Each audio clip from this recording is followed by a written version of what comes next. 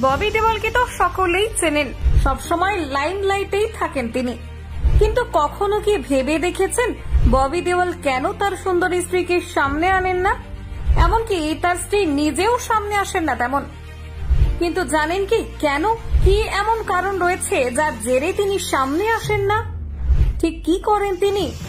আসুন, এই ভিডিওর মাধ্যমে বলিউডের এমন এক চুপ কথা তুলে ধরব যা সত্যিই অবাক করার মতো।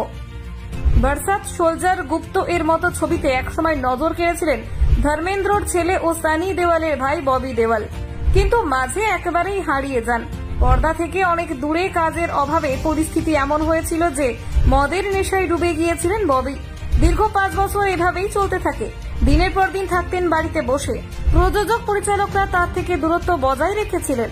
তখন তিনি বাড়িতে বসে ক্রিকেট খেলতেন। এমনকি সংসার চালানোর জন্য ডিজে হিসেবেও কাজ করতেন।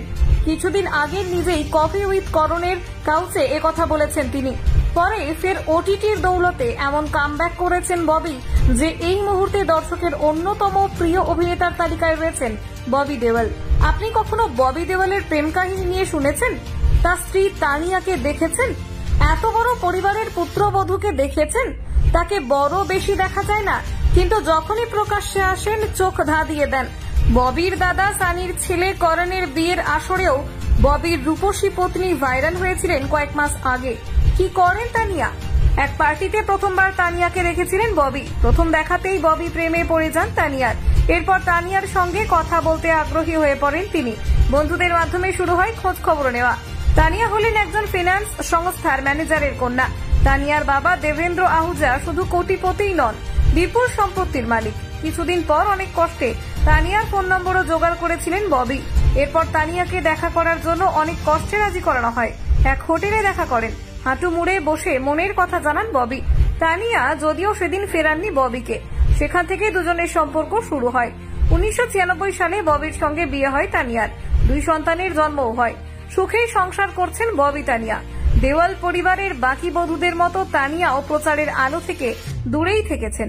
ববির সঙ্গে তার দুই পুত্র।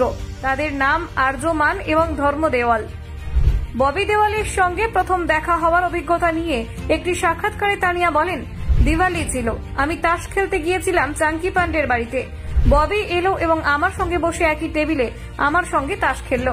আমার কাছে হেরে যাচ্ছিল বারবার, কিন্তু কিছুতেই আমায় টাকা দেবে না। বলল, আমায় খাওয়াতে নিয়ে যাবে তার বদলে। আমি ভাবছিলাম, সমস্যাটা কি এই ছেলেটার? তানিয়া জানান পরে ববি তাকে ফোন করেছিলেন। অনেক রাত তখন। তানিয়া বলেছিলেন, আমি ঘুমিয়ে পড়েছিলাম। কাল ফোন করব কেমন? ববি নাকি এর জবাবে বলেন, জানো না আমি কে?